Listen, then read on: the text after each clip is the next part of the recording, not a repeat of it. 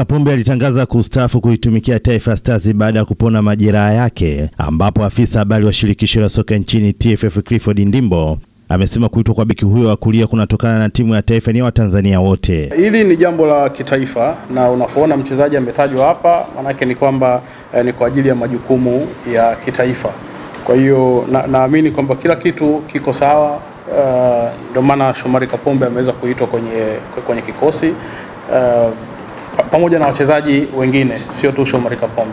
Ndimbo amesema wachezaji wa klabu ya soka ya Yanga watachelewa kuingia kambini kutokana na kukabiliwa na mchezo wa ligi utakaochezwa Machi 15 mwaka huu kwenye uwanja wa Uhuru jijini Dar es Salaam pindi watakapoivaa timu ya Namungo FC ya mkoani Lindi. Baada ya mchezo huo wa Machi 15 ndipo wachezaji wa Young Africans wataweza kuungana na, na wenzao kambini uh, kuelekea kwenye maandalizi hayo ya mchezo dhidi ya Tunisia ambao ndio unatukabili kwa maana tunacheza uh, back to back tarehe ishirini na saba uh, tunacheza kule Tunisia na mchezo wa marudiano uh, utakuwa unachezwa tarehe 30 hapa uh, Dar es Salaam. Kocha mkuu wa Taifa Stars Etienne Ndayiragije amewaita wachezaji 35 watakaojiandaa na michuano ya AFCON pamoja na ile ya chani ya baadaye mwaka huu ambapo Tanzania inashika nafasi ya tatu katika msimamo wa kundi J ikiwa na alama tatu sawa na timu ya taifa ya Libya ambayo wanatofautiana magoli ya kufunga na ya kufungwa, huku kinara wa kundi hilo ikiwa ni timu ya taifa ya Tunisia ikiwa na alama sita.